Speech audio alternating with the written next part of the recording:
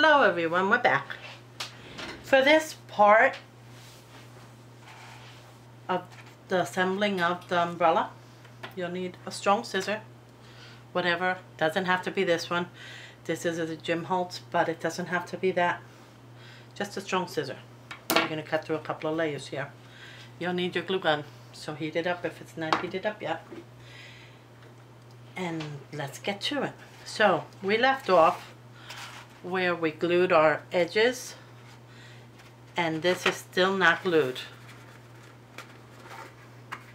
Our bottoms aren't glued. You're going to match them up as best you could.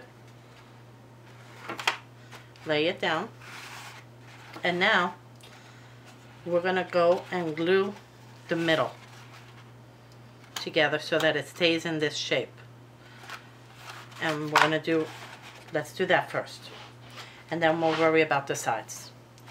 I'm using my glue gun for this. And I'm starting right at the edge here. And it's not a lot of glue, just to keep the little edges together. And as you're gluing it, make sure that your umbrella is touching whatever table or whatever you're working on. Why is that? Because you want to have a uniform shape on the bottom. You don't want it to go up and down. So, just make sure that as you're gluing, you're maintaining it flush with the table. Any extra glue, just wipe it off. And what's this? This is um, Betty Crocker spatula. And this, just some washi that I put on it.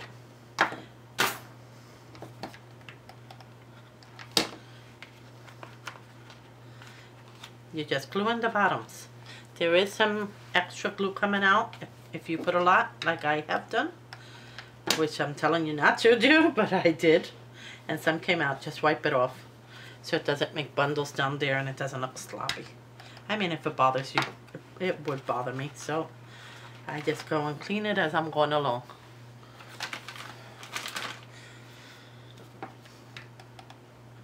I hope you're having a good day over here. It's beautiful here in Florida. Beautiful day. We've been having a little bit of wind these days, but it's just so nice. It's pulled off somewhat and it's really comfortable. Well, I like it. If you like a lot of heat, then I guess you wouldn't like it.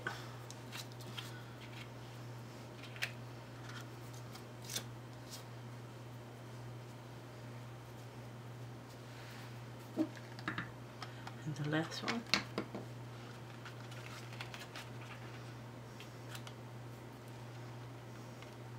I'm just there holding it a second because we're working with the glue gun. It's a little quicker than without. Just holding it a second. And then we're going to go to the other side and do the same on the other side of the umbrella. Thank you for joining me in style number two. I will be answering questions that have been asked of me. If you have any questions, just leave them below.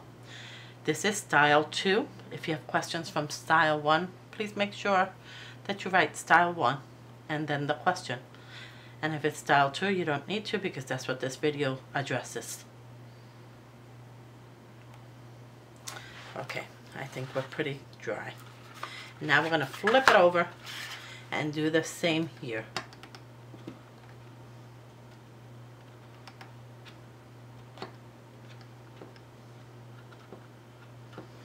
Go pretty quick, so I could do a couple at a time.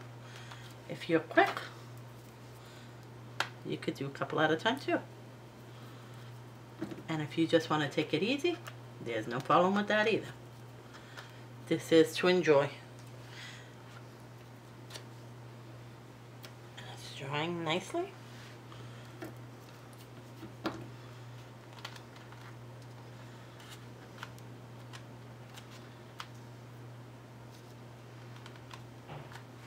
Just giving it a minute to dry.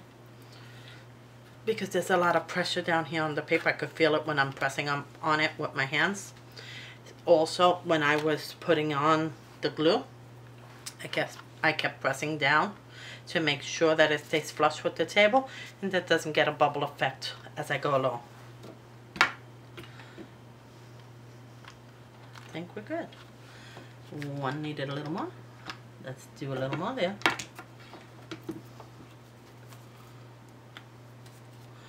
Yeah, I got that tape. This washi tape, it's little diamonds. And I got it in Hobby Lobby. Sometimes I don't think of the things you're seeing and what you might be thinking and I try to address everything. But of course, there's no way. Now, we should be good to go now. Yeah. And we have our sides here and we're going to be closing them also. So let's get to it. A little bit of glue right here and right here. Pinching them shut just a little bit. The whole idea is that it's open up here.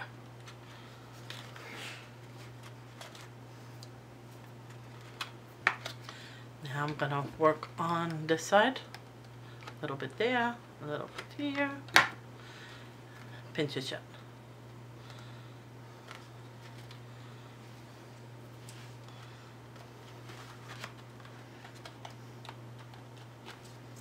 And of course, as you go along, if you see anything opened up, you just close it up again with a little glue. Just giving it a second to dry. Now, you're going to see here that as it was being formed, it takes like a, a kind of a oval shape here. And when you're going to put it to stand it up, because this one does stand, I'm using today metal pieces. The other, the first tutorial I did with a plastic flower. And then, uh, the, the plastic flower, barely anybody could find one and it didn't have to be. It's anything you have that will have a little weight to it not be too light so that it could stand on it. Even a washi tape the the larger circled washi tapes that have these uh, little pieces even that's good. In this case see this one won't do because it's too small. Something that is this width so that you can rest it on it and give it that way balance all right. So why did I say that you needed a strong scissor? Just cleaning up a little bit all the little pieces. A strong scissor if because we're going to cut a little bit this edge to take off that oval finish there. See how it ovalizes right here we're going to try to give it a more straighter finish so that it is easier to put on to wherever you decide you're going to put it on. So I'm going to cut, and I might cut twice. I might not cut it enough the first time, and that's fine. You do whatever you have to do to get yours straight. Still a little bit off. So I'm going to take it this way. I'm left-handed, ladies. As some of you have noticed already. This side is good. See? Now we'll go on to this side. It's very little bit, not a lot that you're taking off. Just to get the curve a little bit out. I don't, I'd rather do it twice than to do too much.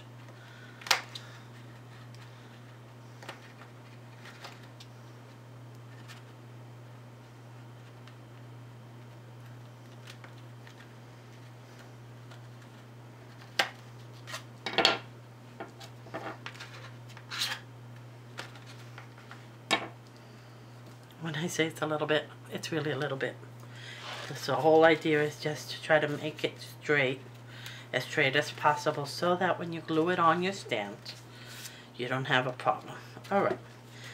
I'm happy now with this. And I'm trying to do it so you could see. There we go. See? It's flush now. And that's what you're trying to find. That it be as flush as possible. It's not going to have to be perfect. Why? Nobody's going to see that. That's on the bottom. That's just you as the, as the person who makes it that knows that you've done that. Now, I have two metals. You could use anything. My friend Dee at these specialties actually uses uh, the spools. And also, I saw another lady on Facebook. They take them apart and they wrap them in pretty paper and then they put them through the center. On this one, you notice that this one's wider. So that's not going to happen. You're going to look for something larger. I, I have another idea that will work well. And it is the holder for business cards. This is my card holder. And if you notice, it fits perfectly in there. So there we go. Perfect, right? Card holders. Uh, any kind of, any kind of thing. It does not have to be something in specific. Any kind of thing that has a little bit of weight to it so that it can hold it. And that you can know that it could sit in it with no problem. And then, uh, let me take it out of there for a minute. I just wanted to show you that. Now, look at what, what ease it opens now because it has these two extensions. Some ladies call these gussets, whatever you want to call it. Look at how much it opens now, how much you can put in there with the ease that I just opened up. Now, I'm not going to leave it on there because I do want to show you. And mind you, see this one is tall. This one's this tall. So this one will impair how much I could open, see? You need one of those little ones that they sell so that you could open it like this and fill it up as much as you want. Now, mm, my plan today is to use uh, these filigrees. Why? Because I know a lot of you have them and I'm trying to address this issue about what am I going to put it in or on. Uh, if you find larger spools, because there are, I got these spools from um, from uh, Decofun. These are the spools they come on. I'm not sure if it's big enough, but let me see if it does. This one's not big enough. A little bit bigger and it would have done. What are you really counting on? The little piece of of, of paper that's on the inside. It's not the ribbon. It's this. That the spool is a little larger so that you can sit it inside of it and balance it. You can put it on top of something. And option, the other option is, which I did previously to doing the video, is that you have two little squares left over from from the paper that you cut out and with those little squares, you can form one of these kind of, you see what it is, a little thingamajig here? It's not a big deal. And it sits. You need to put some cardboard or something on the inside and then wrap it with the paper that's left over. So actually no paper will be left over. And then you're going to measure it and sit it inside and measure it. See?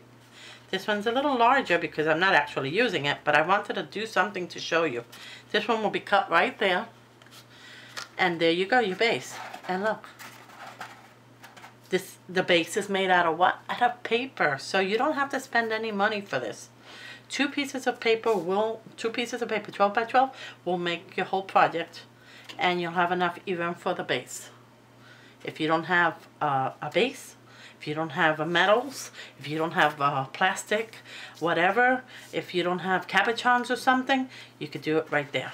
Now, let me show you how I'm doing mine. And of course, what you whatever you have, you have tons of stuff around the house. You just gotta see what, what it fits in. Even um, uh, um, let me think. I'm just thinking different kinds of, of covers that we have at home whatever you have, it'll work. Corrugated cardboard, some corrugated cardboard wrapped up in the pieces of extra paper that you have, it'll work. I'm just holding it so it could dry. I think it's dry. Okay, let's move on. Okay, here's my two grease. I'm gonna put some glue around here. And I'm gonna place it carefully right over the top. And I'm gonna wipe that little bit off there. I don't want no bubbles to unlevel my umbrella. And along the sides, I didn't glue it, but I think I'm fine. Now, let me put glue on my umbrella. Glue it, glue it, glue it. Yeah. And put it on. And just hold it, hold it, hold it. Hold it, hold it, hold it. And let it dry. You gotta have a little patience on this part because I used all that glue I put in there. It needs to be held. For that to dry, right?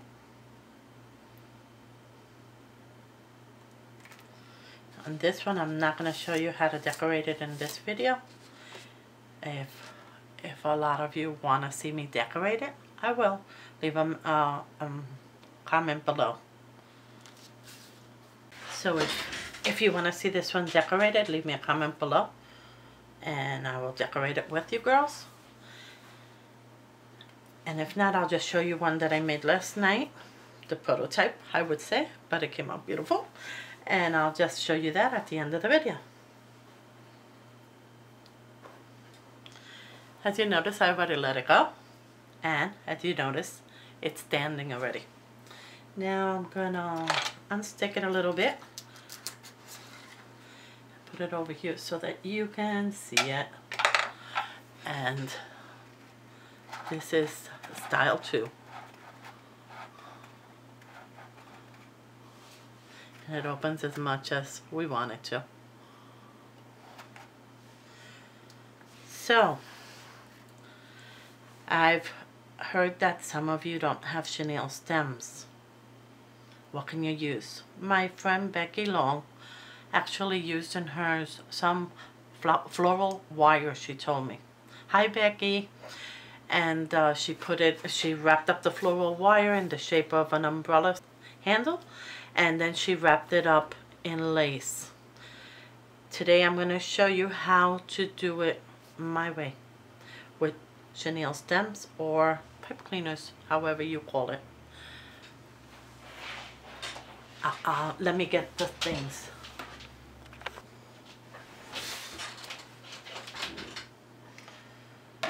For the handle, you're going to need two pipe cleaners or wire or whatever you have that is um, flexible. That's what you need, something that's flexible. I'm going to move over the umbrella for now. I'm sure you got the gist of that. And let's work on the handle. Two pipe cleaners, so just wrap them up like this.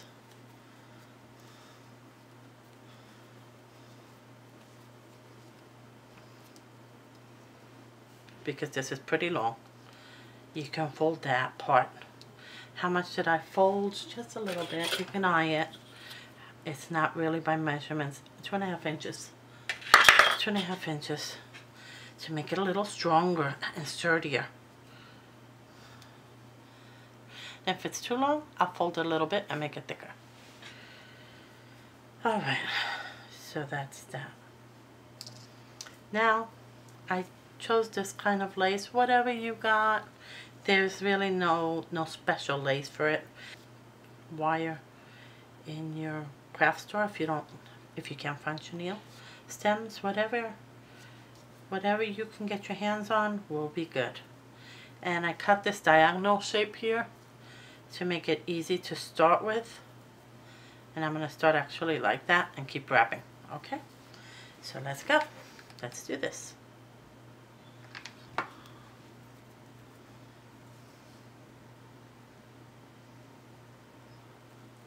If you have questions about the handle, I'm trying to address all of them. But if there's something I left out that you still want to know, leave it below in the comment section and I will answer you.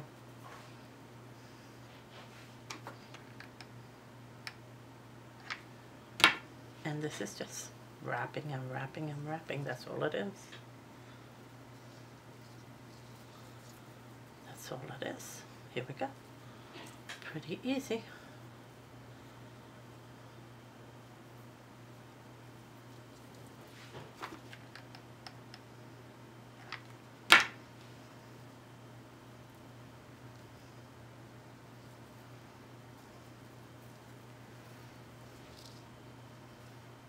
Think it'll be easier to fold it later because the little curve is kind of giving me some work there to go around. So I'll just keep wrapping and we'll shape it later. It's shapeable, so that'll be good, right?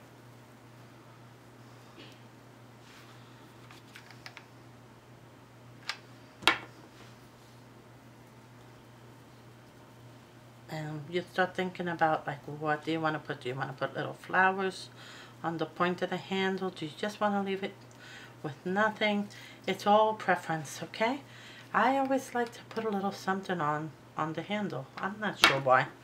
On the tip of the handle, I always like to put something. That's just me, I don't know.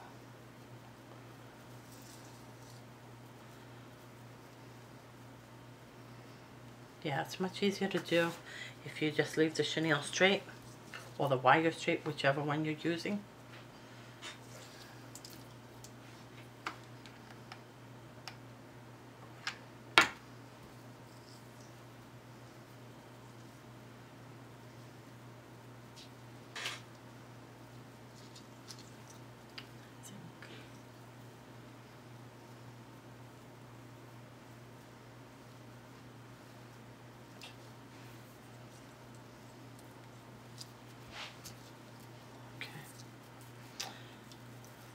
unravel this a little bit. I like to make sure I have enough. Sometimes I take too much. And in this case, I think I took too much.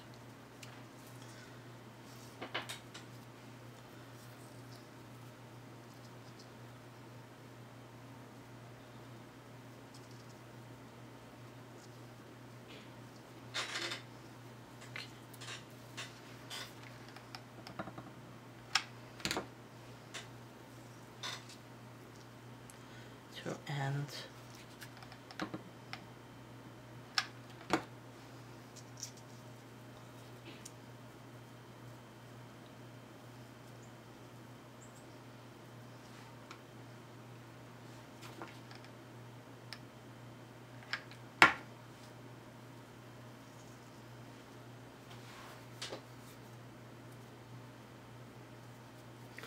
So here we got it. One side's thicker because we bent it a little bit and one side's thinner. I'm just wondering if the thicker side will look better as the handle. And the thinner side could go inside, which I think I'm going to do that. You know those two inches we bent? I'm going to use that as the handle because it looks a little thicker. What do you think? Yeah, right? All right. And you saw how easily, with the lace on, we were able to bend it.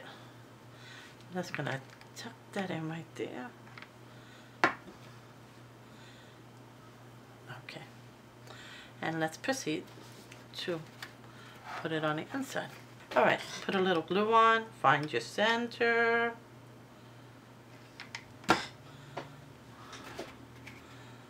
I'm just tying it and I'm hoping I get the right center and, and, and don't worry if it doesn't have a perfect curve, it's sideways or whatever, you'll fix that in a minute. Just glue that on. And you see how easily that was made? So you don't have to worry about buying things and what don't I have or this or that. Whatever you got, use it.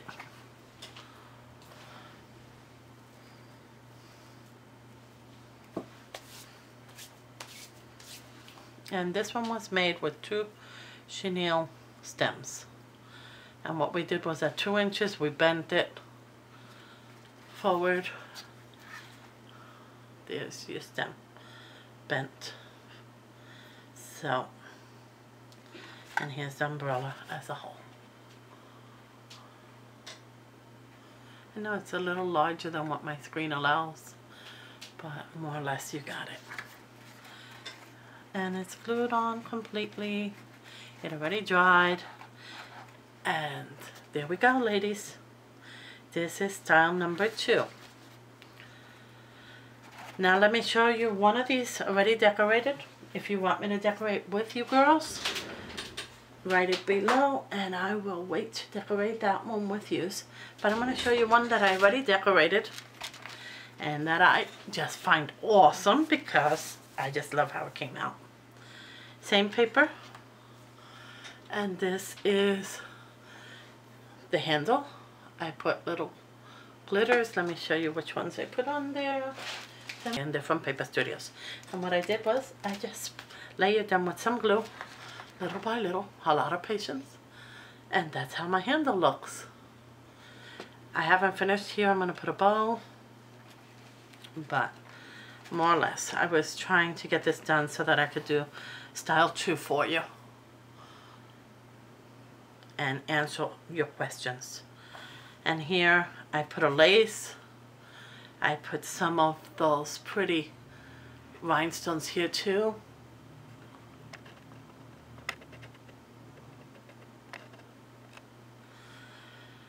Some flowers. Um, another lace trim over here. That's those pink little ones. And I got those, if I'm not mistaken, in my friend's online store, Huckleberry, Huckleberry Arts. Hobby Lobby has them in a couple of different shades. Then I use buck pleat on the top. I use this pretty lace here. Down here, I use these two flowers. I forget where I got those two flowers from. And it's a lace trim with the flowers on it. I added in this filigree with a flower on it. And I put a rhinestone on it.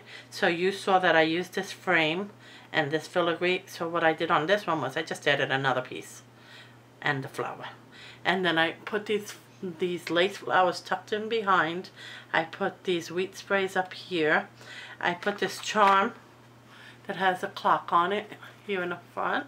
And it has all these little dangles, a scissor, a key with a rhinestone, some more cuteness over here, a ribbon, a big cabochon, and a green metal piece. And then along the sides, because now you have sides, large sides, I put this dangling down, this trim dangling down.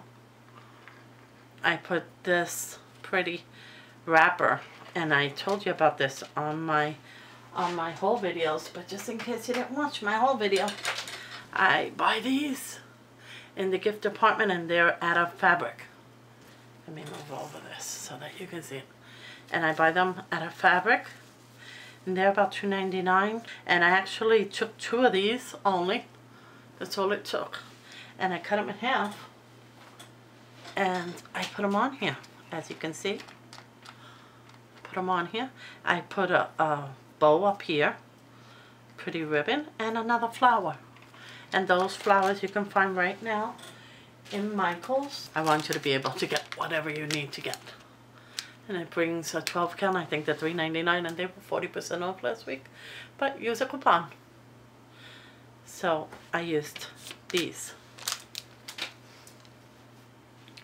And so that's the side. And along the back, because I like to make it look nice in all the parts, I let a little more of the paper show here. But I put this cream eyelet lace trim. And then down on the bottom, put this cluster of fabric flowers, more wheat sprays. And you see a little bit of the, the rim of the metals. This side is the same as the other side. What my two little danglies, love those. Ribbon, flower, and these hanging down, the little flowers. And that I think I got in Joann's. So this is what it looks like finished. Let me know what you think.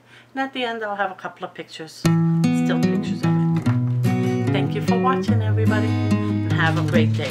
Bye.